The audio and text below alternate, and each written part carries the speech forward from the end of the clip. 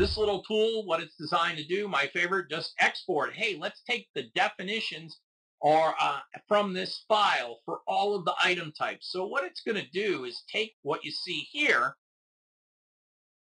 and it's going to take all of these values and it's going to put these into a spreadsheet that I then can go into, I could go into Excel and then import that back in using these same tools. So rather than having to do the editing in here, which is fine, the editing in here is fine, but it is a little more efficient done in the Excel world. So anyway, there's an import and export that was added. Now, I mentioned to you the benefit of, you know, what's the benefit of having this item data? Well, here's what where the benefit is, is that if we were to look at uh, our reports, for example, I've got just two simple reports, one that runs everything on everything to do with drainage, and then I have one that just looks for piping. I'm going to run the one that looks for piping, and here's why it's important, is that within one report, uh, for you guys that have worked with the reports, this literally is, all it's doing is looking for the item types, and automatically in that report, it will have all my properties about my piping, but it has length, cost, and weight. Again, why, you know, you might say, well, geez, that was the EC expressions that provided that. I could just do that, you know, with a line. What that would do is very much complicate your report. You then would have to add to your report another, oops, over here, uh, a related item and say a line. And then it would, you'd have to merge those two together. So this is a much faster, much more efficient way to do it. Let me zoom out a little bit. Um, okay, so one addition to update 7 that I mentioned was things like Bing Maps. Uh, all right, so I mentioned to you there were two different um, you know, kind of criteria to be able to use this. One of them uh, was we have to make sure we have a um, geographic coordinate system. That's just number one.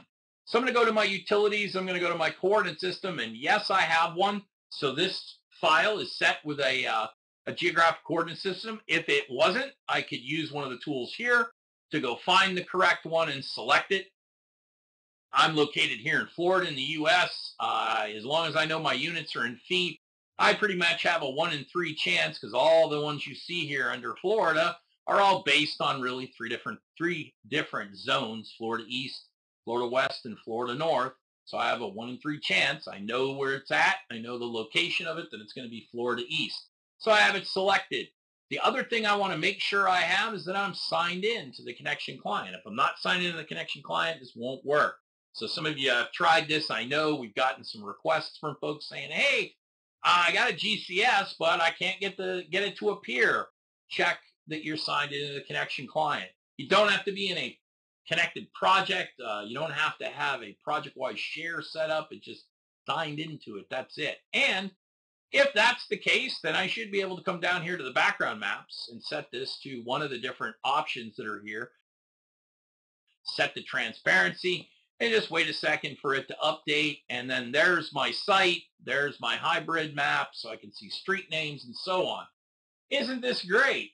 Yeah, it is. But the one thing I'll keep in mind is that this is for viewing purposes, folks. You know, you can zoom in, you can see, oh, well, I didn't build with this. The proposed uh, site is in the middle of a swamp, but, uh, you know, I got some trees to remove. You know, quickly you could look at it, that type of thing.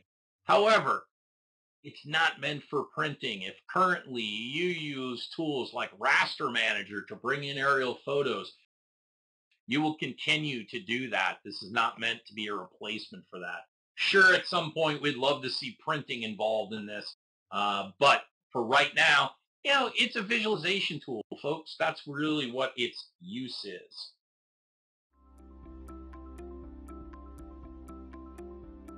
If you found this video helpful, please give it a like. If you want to see more such series, consider subscribing to our channel. Thank you and see you next time.